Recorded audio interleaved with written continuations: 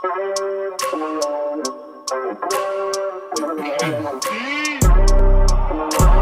wake up every minute with a fever dreams. I mind a limit where it needs to be. I work blind, got vision I don't need to see. I'm picking mind over matter, I believe in me. I need to find more hours in the day to breathe. Need to find more power in the way I be. And when my mind turns out with the painful scenes, I need to scream out loud, I can't stop me. I wanna be the greatest like Rocky. You know I leave them all hating like a hobby. I'm out here making moves like a lobby. And if you ain't with me, it's your loss. See, I got my mind on the facts. I'm a python, grab what I like real fast. Choke until I have everything I attack, everything that I lack, everything that I want, and I see matter of fact. Cause I'm my own worst enemy Only if I let it be I can control anything if I can just think carefully I control my destiny Deep up in my mind I manifest it Every morning I wake up obsessed and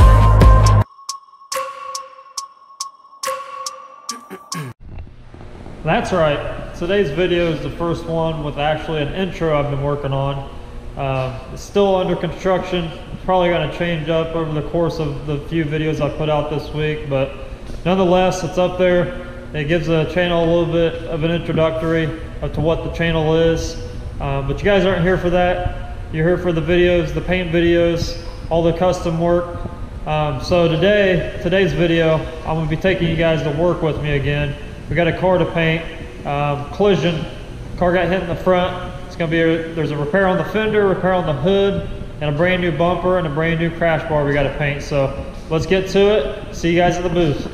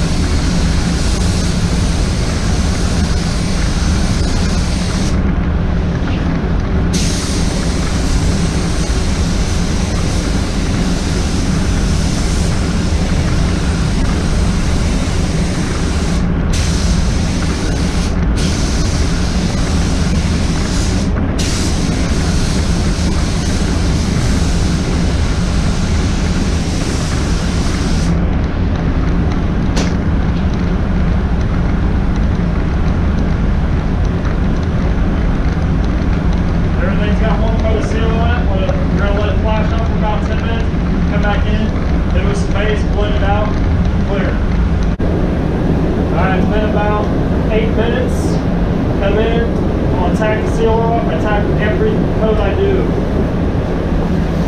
This will help pick up all the loose particles, the overspray that's left on the panels.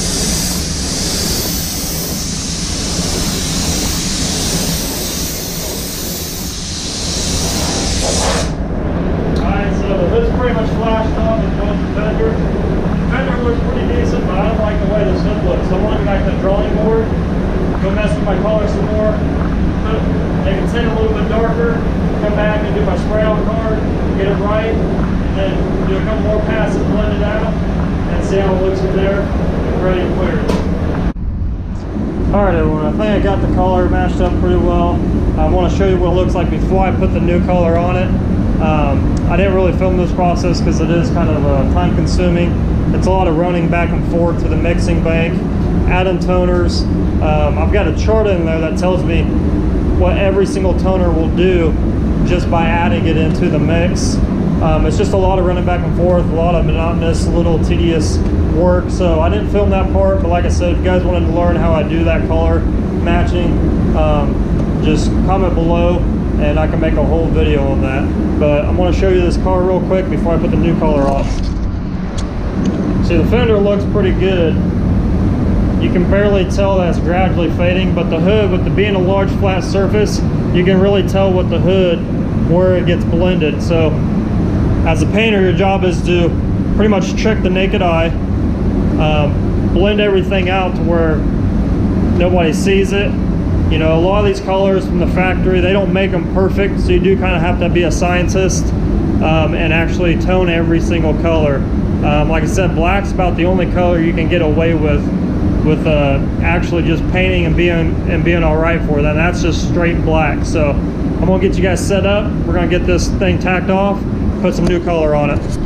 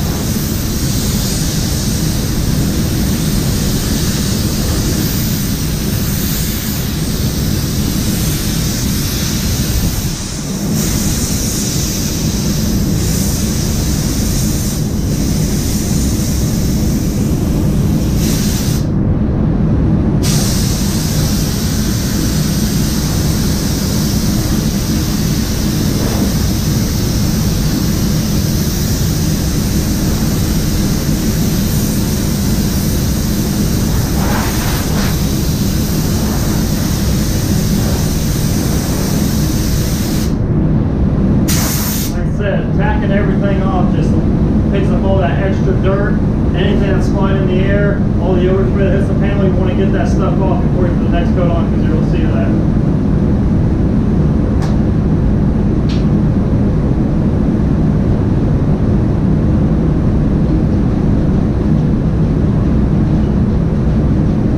Give it a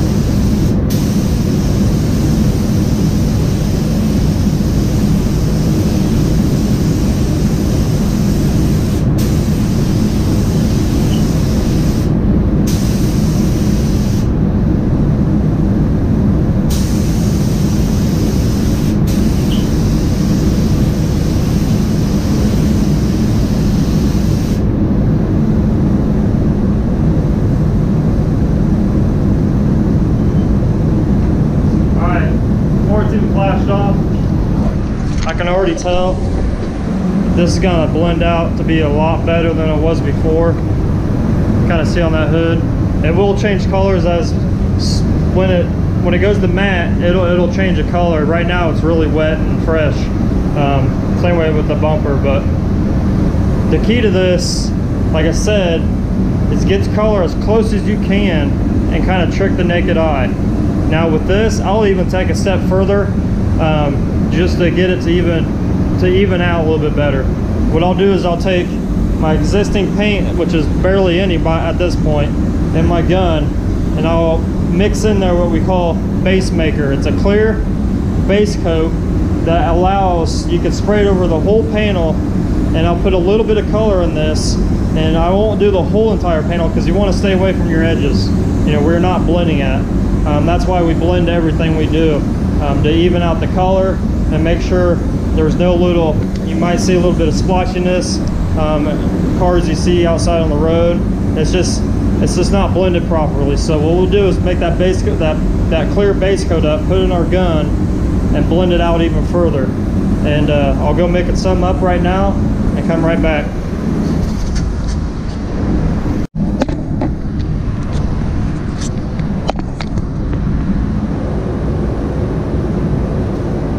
Alright guys, we're back again. Got a little bit of that base coat mixed up, that clear base coat, mixed in with the regular base coat color.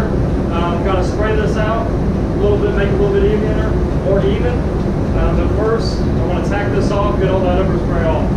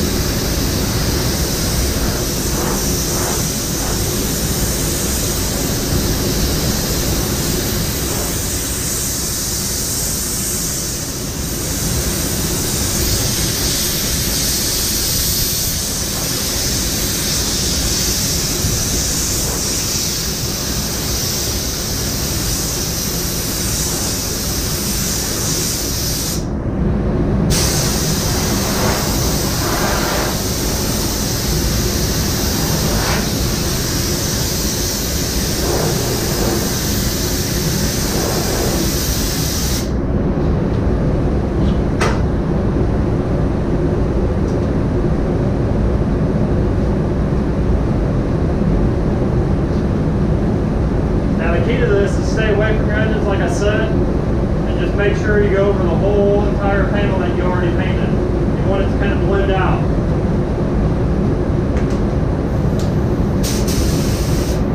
And you'll see me, what I do a lot with this is I, I crisscross my patterns on metallics. Any metallic that has a lot of heavy, you know, fine metallic, heavy metallic, don't matter. I'll crisscross because it allows that metallic to lay across evenly.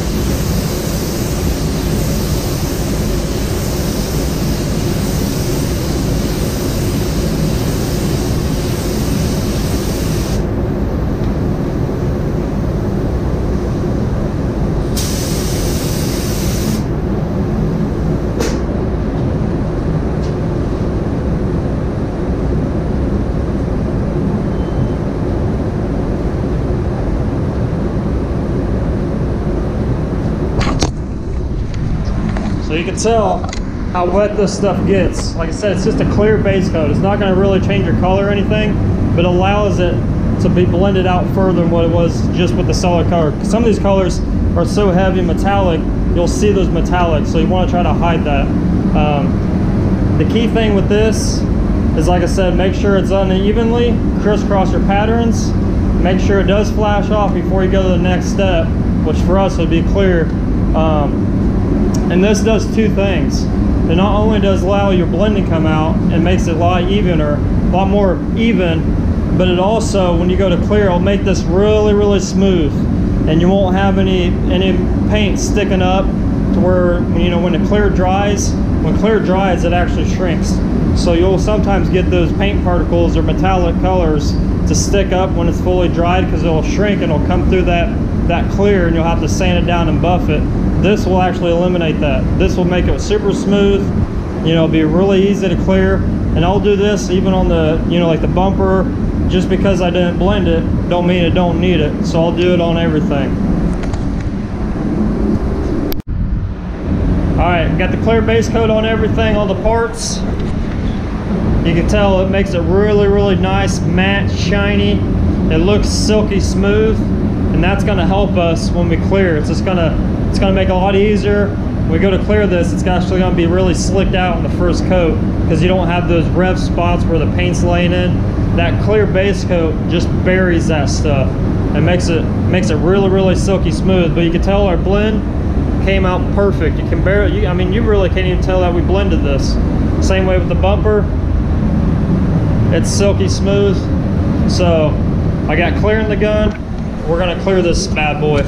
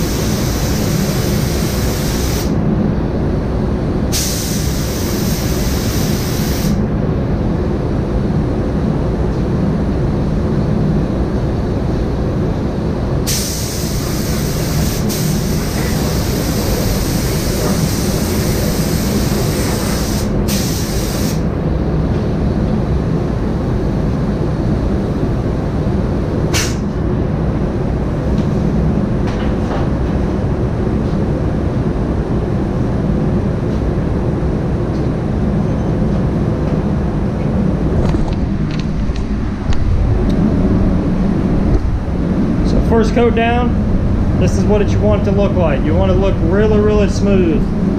As slick as you can get it because like I said, clear is gonna shrink. Even though you're putting, you know, the way your gun atomizes, it's you're putting orange peel back into it, but you want to try to get it as slick as possible. A lot of makes and makes of uh, cars are, you know, their manufacturer, they got some orange peel. A lot of cars are different than others, so you just kind of go with what the other, what the rest of the car looks like.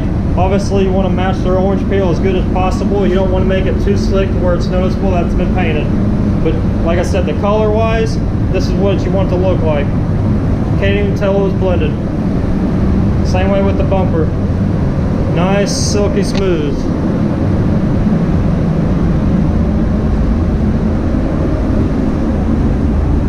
So, I'm gonna go mix up some more clear. I'm probably gonna need about four or five more ounces. Come back in here, by that time it should be flashed off, ready to spray the second coat. All right, coat number two. But first, I'm to clear the spray out card and show you guys how close I got on this color.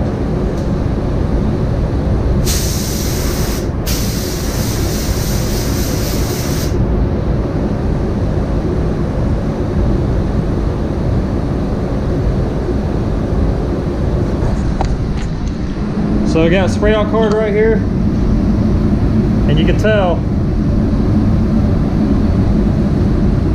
Just spending that extra time making sure your spray out cards are as good as possible. You know you're gonna save you're gonna save yourself a lot, a lot of hassle because you'll end up redoing it if you go ahead and clear it and you notice that your blend's not perfectly right.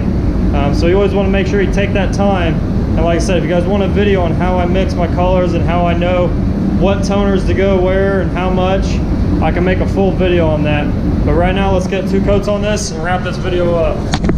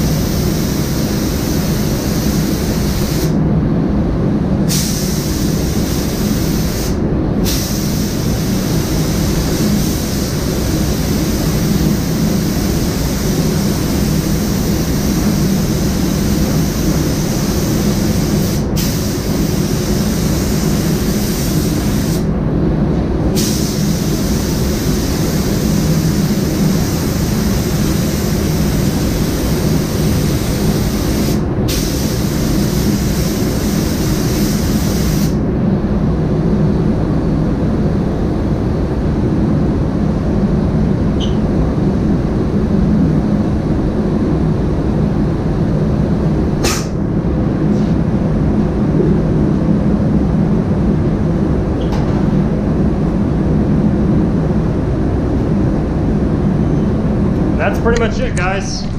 Two coats, clear. Like I said, collision stuff. Excuse me. That's all you need on this. Two is enough to where if you need to wet stain and buff anything out, you can. But I'll bake this at, you know, 150 degrees for about 45, 50 minutes. Come out of the booth, start on the next car. But this shaped up to be really, really nice. So we'll get out of here so we don't collect any more dust. And until next time, see you guys later.